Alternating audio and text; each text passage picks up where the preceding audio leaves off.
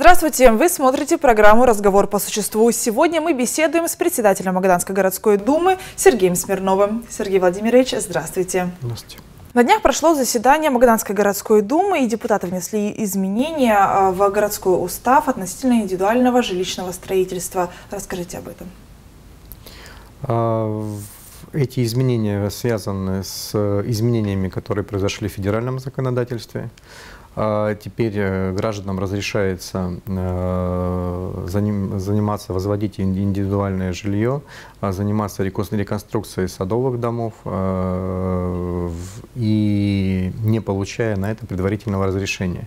А это вводится уведомительный порядок, то есть гражданин начинает строительство, заполняет соответствующую сведения декларацию, и там есть определенный перечень документов, которые он передает в департамент САТЭК.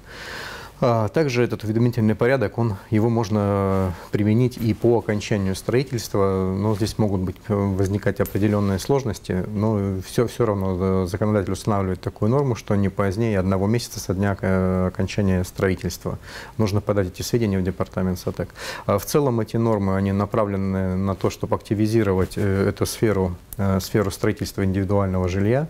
То есть это не только на землях, на которых разрешено индивидуальное жилищное строительство, как это было раньше, но и это земли для садового дачного ведения хозяйства. То есть э, возведение садовых дачных домов, оно тоже может, э, на них распространяется режим потом прописки гражданина при соответствии определенным требованиям этих объектов. И они также подпадают под уведомительный порядок начала строительства.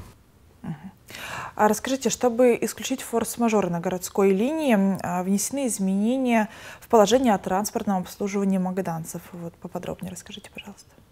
Это решение э, Суть его заключалась в том, что э, при регулировании э, вопроса пассажирских перевозок в федеральном законе имеется норма, которая позволяет органам местного самоуправления принимать определенные решения, которые регулируют некоторые вопросы, которые не урегулированы федеральным законом. Ну, вот в частности, например, когда происходит э, расторжение договора по каким-то обстоятельствам, форс-мажорным, скажем так, э, либо по, ну, которые не предвиделись, потому что везде конкурсные процедуры, и на период, пока будет объявлен конкурс, остается вакуум, порядка там 40-50 э, дней, э, что не должно повлечь остановки транспорта в городе. Э, то есть э, вот эти вот э, вещи, которые мы посмотрели, приняли, они позволят, э, чтобы движение транспорта было бесперебойным э, при наступлении, скажем так, любых обстоятельств. Скажите, у бюджетных учреждений есть задолженность по уплате налоговых взносов. Это что-то серьезное или в рамках допустимого? Ну, эта проблема, она тянется очень давно-давно, и она переходящая из года в год. А, задолженности э, они есть, но на, на, на сегодняшний день они меньше, нежели на начало действия Думы нашего созыва и э, вступление э, в полномочия действующего мэра. То есть с тем наследством, которое досталось, ну, надо сказать, что работа ведется, и эта задолженность, она уменьшается от года к году. И буквально сегодня этот вопрос мы рассматривали. Мы рассматривали Э, представление, э, обзор прокуратуры, э, где также они высказали обеспокоенность в связи с имеющейся задолженностью. 107 миллионов она составляет на сегодняшний момент по уплате страховых взносов по всем учреждениям подведомственной мэрии города Магадана. А, и те меры, которые принимаются в ближайшее время, также поступили средства из правительства 30 миллионов, они будут э, уже направлены на погашение этой задолженности, то есть она будет порядка 70 миллионов.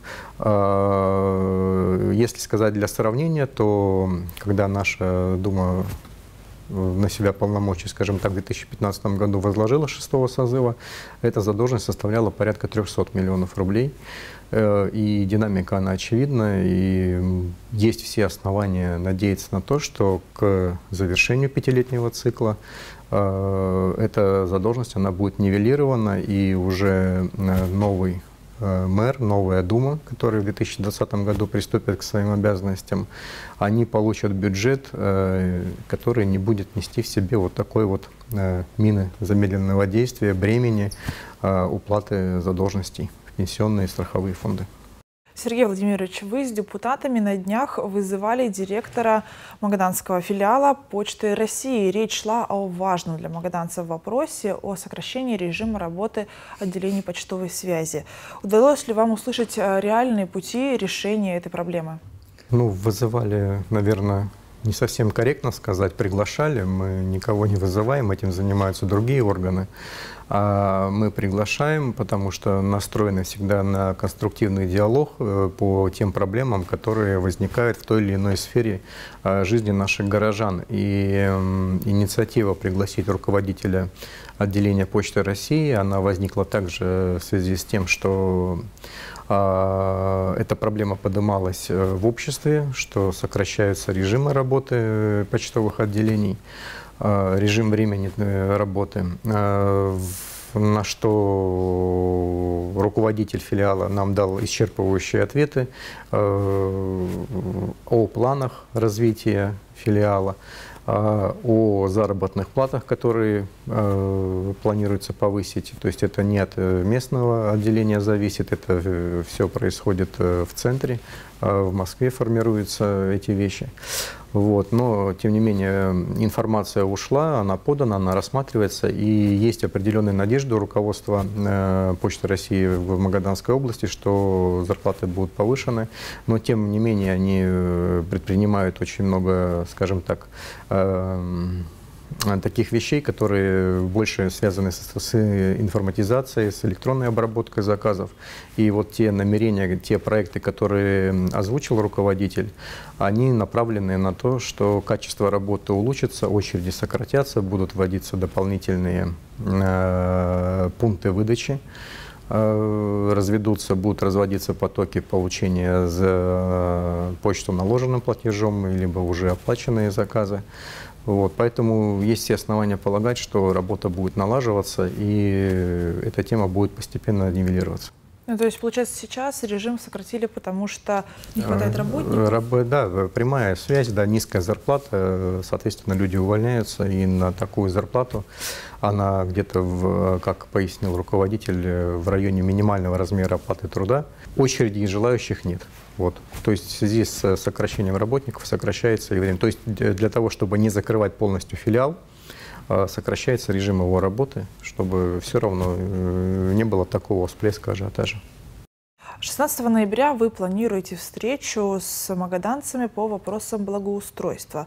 Где она пройдет и каковы цели? А, ну, это будет целый ряд встреч, э, то есть округ у нас большой. Мы планируем, что первая встреча состоится на базе 21 школы, она состоится уже в ближайшую пятницу в 18.30. А, поэтому жители близлежащих домов, если есть вопросы, которые нужно обсудить, подходите, обсудим. Вторая встреча э, в клубе по месту жительства, в клубе «Исток».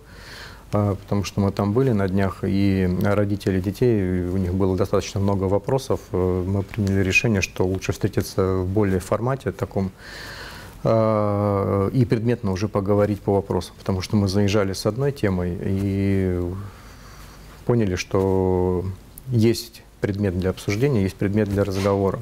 А, также планируем провести встречу на базе 13-й гимназии Жители ближайших домов, э, это улица Вострецова, транспортная, могут подойти также и э, поговорить на тему, которая их волнует. Это вопросы и благоустройства, и всякие различные, связанные с жизнедеятельностью нашего города.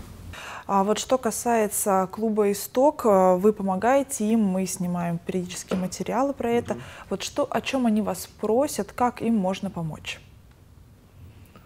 Ну, на самом деле, все зависит от инициативности того человека, который занимается с детьми.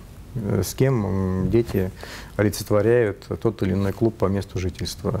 А если человек настроен на э, внедрение новых проектов каких-то, да, чтобы детей увлечь, завлечь, а разносторонне их развивать, то понятно, что у него будут возникать и вопросы по совершенствованию этой работы, по наполнению ее какими-то средствами. Ну, это и настольные игры различные, э, это ну, многоплановая поддержка. То есть я вот сейчас сразу даже все и не могу вспомнить. Э, видеокамеры мы помогли установить, да, но это вопрос безопасности. Мало ли что может случиться, чтобы всегда можно было посмотреть в записи. А кто виновник какого-то инцидента или хронологии того или иного события. Вот сейчас мы встречались, озвучена была такая инициатива хорошая, то есть она даже не инициатива, педагог, который там занимается с детьми, они уже ее практикуют. Это с детьми они выезжают на лыжные прогулки на Снежную долину. Вот. Э, и возникает вопрос по оплате инвентаря, он берется там в аренду, э, в прокат. И вопрос по транспортной доставке. То есть все-таки с детьми сложно собрать, прийти на автовокзал, сесть на пятый маршрут. То есть это тоже целая такая эпопея. Вот. Мы здесь тоже, в том числе вот э, в решении этого вопроса, тоже постараемся помочь. Э, ну, как это будет весенний период, март-апрель. То есть мы этот проект постараемся его сделать более а, массовым в рамках э, этого клуба по месту жительства и э, помочь им в реализации вот этих вот идей привлечения детей к спорту, э, чтобы они выезжали, занимались на Снежной долине, катались. А, заключительное заседание Магаданской городской думы планируется на 24 декабря. Депутатам предстоит рассматривать бюджет Магадана на 2019 год. С какими цифрами придется работать и есть ли приоритеты при распределении бюджетных средств? А, ну, пока еще предварительные цифры нам не поступали э, в профильную комиссию. Мы их ждем в ближайшее время.